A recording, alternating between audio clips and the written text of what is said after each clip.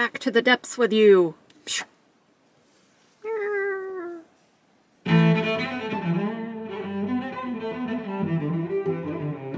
Hello friends and enemies. Welcome back to Weekly Allowance where we are looking at a Mezco today. And not just any Mezco, a new release from Mezco's Rumble Society, and it's ocean themed. And if there's one thing I'm a fan of, it's ocean themed fantasy nonsense. So, we are looking at Captain Nemo, and he came with all this stuff. Please disregard the reflection of my ring light, because this packaging is made of metal. It is a lunchbox style packaging that reflects the light quite handily. So yeah, in addition to this lunchbox style packaging and everything that comes within, we also have a little uh, pamphlet, I guess, about Captain Nemo and all his accoutrements and such. So yeah, a lot of neat, interesting stuff in here, and we will go over this more later. He also comes with this, which I believe is a model of the Nautilus, so that'll be interesting to open up, but first we are going to look at the figure itself. Okay, so this is a little bit unique in that it is a lunchbox style package,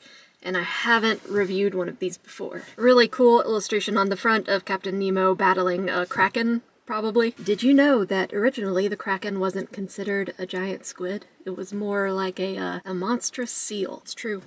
If there's one thing I know about, it's sea monsters. I don't know much, but I do know about sea monsters. And it helps absolutely no one. Cool illustration on the lid. Both sides feature this Nautilus illustration, and on the back, that same illustration, but with uh, extra text. So you've got Mezco's info. Warning, choking hazard, small parts, not for children under three years. If you are a child under three years and you play with this toy, you will be tossed overboard. Let's go ahead and open them up. Right on top of everything, we get this kind of uh, small instruction manual type dealy. Uh, I assume this is for people like me who never know what they're doing and risk breaking the toy by, uh, by doing something stupid. So this makes everything pretty much foolproof, I hope. So I'm sure I will be referencing this throughout. I don't think I'm a stupid person, but I am very impatient and I am very forgetful. Uh, those two things, not a good combo. Lunch tin packaging is so cool though. It's kind of something I don't even want to like put away with my other boxes. I just want to keep this out somewhere. I guess I could put my lunch in it, but I don't really go anywhere, so that would be a little pointless. Okay, he comes with so much stuff. I'm just gonna go ahead and undo it all. I'm not gonna lie, it's always a little bit daunting uh, reviewing Mezcos just because they come with so much stuff and they're just overflowing with detail, so it's usually a lot of stuff to cover. And this guy is no different. Not only does he come with a billion things, the detail on him is just stunning. Sounds like an insincere word to use, but I'm saying it very sincerely. Just a crazy amount of detail on this guy. Like, even the soft goods have a nuts amount of detail. You've got these puffed sleeves on his shirt, this kind of undersuit that's made of like a, um, imitation leather material, offset stitching. I love the color scheme here, but as we all know, I am a fan of the color blue. So 20,000 Leagues Under the Sea is a concept that lends itself well to lots of uh, steampunk versions. I guess you could argue that the original was already steampunk. So Captain Nemo looks appropriately steampunky, but not too steampunky, you know? He's within the realm of believability. There's just some little details here and there that really um, enhance that aesthetic. Like his boots, again, with the great boots on all these figures. There are brass details on the soles, uh, the heel, and the toe. That way if he drops something heavy, his toesies are protected. Really cool little rivet right there. Love the detail of the cutout. There's not much more steampunk than a brass-toed boot. All these figures have such nice boots. If only I were tiny, I could wear them. Fantastic head sculpt, of course, we expect that from Mezco. Grizzled old sea captain. Really tiny lines and wrinkles. Delicately sculpted hair, including the beard and these tiny little beads in the beard. He's even got a little earring in one of his ears. And just luscious hair. He's got some uh, Geralt of Rivia hair going on. Just thinking about the logistics that go into producing something like this, like this bandana alone takes a lot of thought and a lot of work.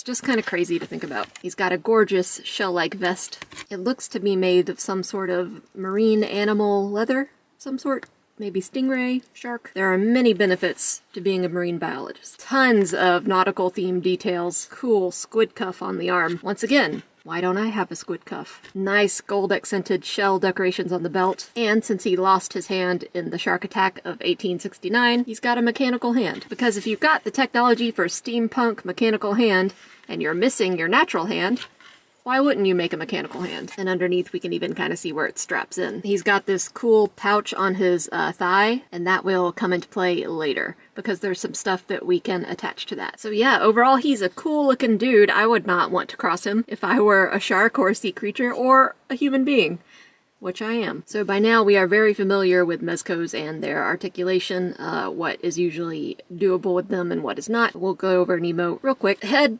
is going to be an issue for any poses because he's not only rocking the long hair in the back, he's rocking the long beard in the front. So up and down, at least with this head and probably with the other head, is very limited. Some good tilt though, but if you want to turn it any particular way, uh, if you get far enough, his head will just pop off. And that's once again because of this hair in the front and the back. So not much going on uh, there, and it's especially compounded by this thick vest right here. But let's look at the arms. Up, you got a swivel in there, I think, but the sleeves uh, are really going to be a problem when you're working with that. So neither of the arms can go up very far at the elbow, and that is because of the squid cuff and the metal hand, respectively. We do have up and down a little bit, and rotation on this gloved hand, and a much higher range of motion on this um, metal hand. It seems to be on a ball joint, so it has a lot more range of movement. Crunch back. Not too bad for an old-timer. Forward, uh, pretty bad even for an old-timer. Twist at the waist, but his leather bodysuit is definitely getting in the way of that. It is getting in the way of leg movement too. That's a very stiff material and it does not want to move. You can go about that far with the knee before you really start stressing the material. You can see here I'm already tearing the stitches a little bit, so be careful about that. And some up and down and rotation on the ankle. Articulation-wise, he's not really a heavy hitter but he looks super cool. I'm sure we'll be able to still get him into a bunch of fun poses. It's just when you're involving so many details and these stiff fabrics, no matter how puffy the sleeves may be, they are going to get in the way of movement. So as I touched on before, he comes with a lot of stuff, so we are going to go through that right now. And in a throwback to our Doc Nocturnal video, I'm going to do the old-timey announcer voice because it's been a while and I can. Old-timey announcers belong in steampunk, right? Introducing the accessories and accoutrements of Captain Nemo and his Nautilus crew, featuring the captain's own skeletal hand and the shark jaw that took it from him. One extra head, grizzled, cutlass and scabbard, forged by Nemo himself from metals found at the ruins of the sunken city of Atlantis. The Ahab appendage, a retractable harpoon that attaches to Nemo's left arm. The Layton Sparklock handgun, a handheld version of the Layton Thunderbolt rifle. This firearm projects lethal rounds of electricity. One ivory dagger and sheath, made of narwhal, probably. One telescope and holster, the amusingly named sextant. So many hands! And of course, what is a captain without a captain's cloak and a captain's cap? So let's go through our accessories one by one. this is just really amusing to me. When I opened up the package, I had forgotten that he came with this. So it's a memorial to his hand and uh, I guess the shark that he uh, grabbed the hand out of. You can even see the backup teeth and the shark jaws. And the back even has the rivets and stuff that are holding the jaws together. It's hilarious, honestly. like, it'd be fun to display this just with no context. It would also be fun just to have a life-size version of this. I'm sure someone does somewhere. We've got an alternate Captain Nemo head that's a little more windswept. His beard and his hair are flowing in the wind. His teeth are gritted. He's angry. Probably watching a sea monster attack his vessel. You've got his cutlass and scabbard, so I guess I'm correct in thinking that he fashioned this from some kind of sea monster and then put its eyeballs into the hilt, you know, like you do. It kind of reminds me of that Kingdom Hearts Keyblade with the eyeball in it, always watching. It'd be cool if this cutlass, like, talked to him you know, like telepathically. It's watching everything he's doing and talking to him. It doesn't have much good to say because he killed it, but it's company at least. I mean, he has company already. He has a crew, a crew of seamen. There, I said it. The harpoon arm is really intriguing, mainly because it's got a real rope that is deployable and retractable. So to deploy the rope, you twist it counterclockwise. I'm sure there's a better way to do this that I'm not thinking of. The harpoon comes out. To retract it, just wheel it back in clockwise.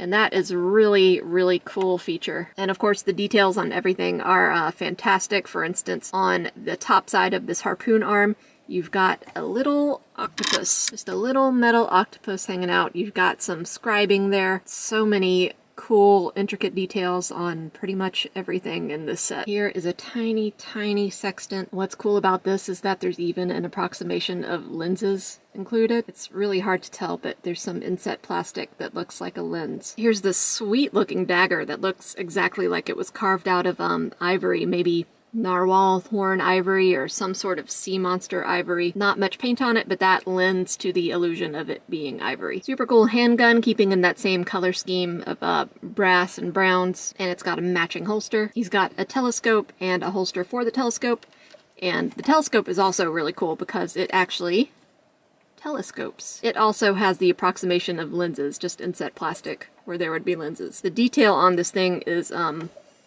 pretty crazy. There's tiny, tiny symbols running along the circumference right here. That in conjunction with these scribe details, I mean, you really kind of have to get super close and personal to see those. It's also neat that it comes with holster, probably meant to go that way, but who knows. A ton of hands, a literal ton of hands. So you've got three different uh, mechanical hands, a relaxed mechanical hand, a pointing mechanical hand, a reaching for something mechanical hand perhaps, and several non-mechanical hands. This looks like it could be a trigger finger hand probably. Relaxed, splayed out out. I don't know what this is supposed to be. Is he like putting it in his pocket or something? I don't know. And two different uh, grasping hands for your grasping needs. He comes with this really nice cloak. It's monogrammed. This guy's living the life. Like apparently he used to be a prince, so I guess he would have access to funds to buy nice cloaks and boots and such. And a jaunty hat. So of course it's a Mezco, so it has a stand, and this time we've got the uh, 20,000 Leagues Under the Sea title against a really soothing seafoam green background. So the deal with the stands is the same here as it is across all Mezcos. You've got a peg in which his foot can be planted, or you can punch this out, put this in instead, and hold him up that way. So this pouch at his thigh holster can be removed if you have stronger fingers than I do. Okay, there we go. We did it, guys. And you can replace that with the telescope, the dagger, or the pistol. So let's do the telescope, because I'm interested to see how that works out. You just plug this in. In theory, not a perfect fit, but I will take it. But then if you wanted to give him his dagger instead, it's got these two little holes and that would be, that looks really cool actually. It looks like he's um about to go diving and he's taking his dagger with him to collect mollusks or something. I don't know. And of course we've got the more traditional handgun holster, which also looks cool. And of course we cannot forget about the harpoon arm. Take off his hand and then slide this into place. Okay, that looks uh, crazy awesome.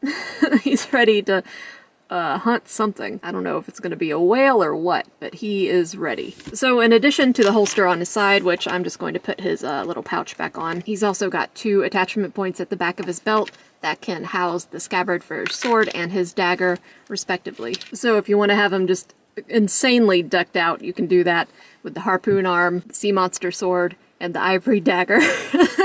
He's just out for blood. So let's look at his um, more angry head feel like this guy is always angry.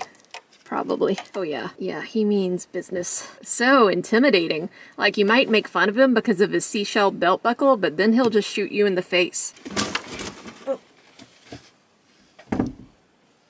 That was the sound of me almost falling down. So when you're replacing his uh, flesh and blood hand, remember that his bracelet will come off, so you want to watch out for that, not lose it. Stick it back onto the nub. Easier said than done. Probably easier when you're not trying to keep it on camera. but when has that ever been my concern, am I right? You know, I try my best. It's just not very good. There we go. Back to the depths with you. Listen, I'm just having fun. So we've got one more thing to try out on him, and that is his cloak and his hat. Is that two more things? That counts as two more things. I can't do math. So the cloak, on the inside there's these strap dealies that you can put his arms through, and that will secure the cloak uh, in place better. So that's a really nice touch. That way there's not as much danger, or no danger perhaps, of it falling off. Now it is a little difficult to get it on him just because um, of this clasp, But once it's on, it's on. His hair also naturally wants to be inside the cloak instead of over it. And so uh, I just let that happen. It looks a little bulky on him, but you know, it's a heavy cloak. And he's got a tiny hat. I don't see how this hat um, is going to do him any favors. It doesn't even cover his ears. The cap also takes a little bit of doing. It's a little bit too small for his head, and also the bandana doesn't come off, so you kind of need to um, work that into place over the knot in the bandana. Yeah, the cloak is cool, but he looks so much cooler when everything is displayed. So you could probably pose the cloak in such a way where most of his normal outfit is uh, on full view. this has been a long journey and it's not over. He will come with this Nautilus model since uh, the full thing would have been way too big to produce. So a model is as good as we're gonna get. Very well packaged. This is up here with the, um, the shark jaw has a really cool, just separate piece. I love the tentacles coming up from the side. And then right here, you've got 20,000 Leagues Under the Sea. The tentacles continue along the top of this plaque. Very, very nice. It's heavy. I don't know what it's cast in. I guess it's just cast in a heavy resin. It's heavy, it's nice, shiny, metallic. Very, very cool piece. So I just wanted to briefly touch on this um, included data journal, just because it's got some really cool stuff in there. You've got an explanation of the arms and stuff. You've got a kind of a mini biography of Captain Nemo himself. The Nautilus layout, some cool stuff like the dive suit and the Wave Rider. I know the Wave Rider is a real physical thing. I'm wondering if the dive suit is going to be a physical thing too. His crew, which is also a set that Mezco is releasing, and some um, really nice illustration of Nemo and the crew in action. I think this is my favorite of him battling some kind of mutant mosasaur. Yeah, I really like things like this that are included, just like kind of little fun manuals with really nice artwork. And it just so happens that I have a giant squid for him to fight. it's not quite as large as um, the ones he's used to fighting are, probably, but still pretty good size in comparison to him. The only problem is I don't want the giant squid to lose. I'm on Team Giant Squid, always. So here's how Nemo stacks up against another member of the Rumble Society, Hawk P40. Hawk P40 is a large guy, uh, he compares pretty well to Nemo. I mean, I'd expect a cyborg plane man to be a little larger than a salty sea captain. And so here he is with Doc Nocturnal, who, as we have discussed before, is a more slender, lithe figure. He's shorter, he's smaller, so I think Captain Nemo is on the more uh, average guy side of things, whereas Doc Nocturnal is just a smaller character. I would like to see these two in a fight. Seems like they wouldn't uh, get along. You know what you did. Yeah, so uh, Captain Nemo, a great figure. I mean, I feel like I say this every time we talk about Mezcos, but they're just always beautifully made. The Rumble Society stuff is really imaginative, and I'm really enjoying it. So if you're a fan of Mezcos and the Rumble Society characters and salty sea dogs and perhaps ocean-themed steampunk adventures, then Captain Nemo is the man for you. Thank you for watching the video. Likes and subscribes are very much appreciated. Comments are more than welcome. And I will see you guys